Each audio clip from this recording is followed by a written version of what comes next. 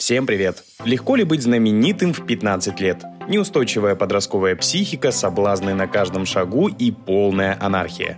Мне это видится примерно так. Но у меня, в отличие от нашей сегодняшней героини, не случилось шанса попробовать это на практике.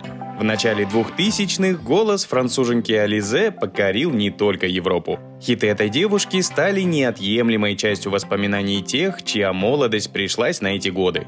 О том, как живет исчезнувшая с радаров Ализе, сегодня расскажем в этом видео.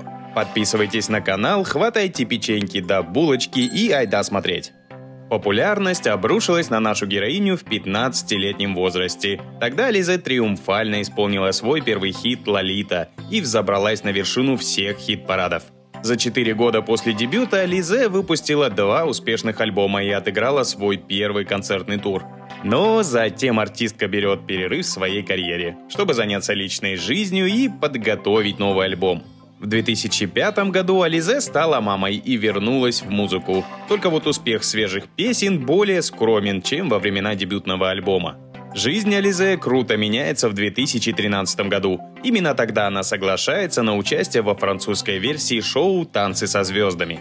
Во время шоу между Ализе и ее партнером вспыхнули взаимные чувства, и через три года артисты сыграли свадьбу.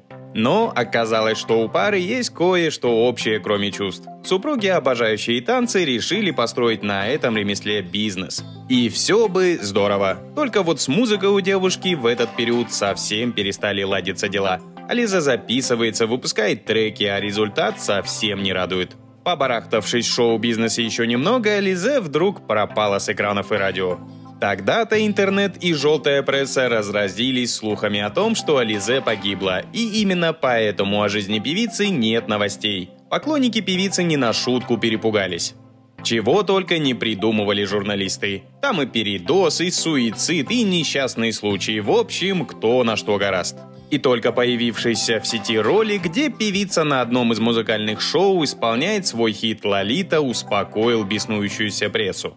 А чтобы окончательно убедить всех в том, что она жива и здорова, Ализе выпустила новый альбом под названием «Блонд». Девушка рассчитывала на этот проект и верила, что он станет точкой ее возвращения на большую сцену. Ализе даже запланировала большой гастрольный тур. Но турне пришлось отменить. Низкие продажи нового альбома ясно дали понять, что нашей героине снова не удалось приблизиться к дебютному успеху. После этого последнего провала Ализе решила завершить свою карьеру и жить обычной жизнью. Нужно отметить, что причиной тому стал не только провал в музыке, но и успех на паркете. Дела в танцевальной школе у супругов пошли настолько хорошо, что решение оставить музыку далось несложно. Сегодня студия успешно работает, а Лизе продолжает реализовывать себя как мать. В 2019 году у пары родилась дочь, которую назвали Мэгги. Успех — это штука классная, но имеет свойство заканчиваться и остывать.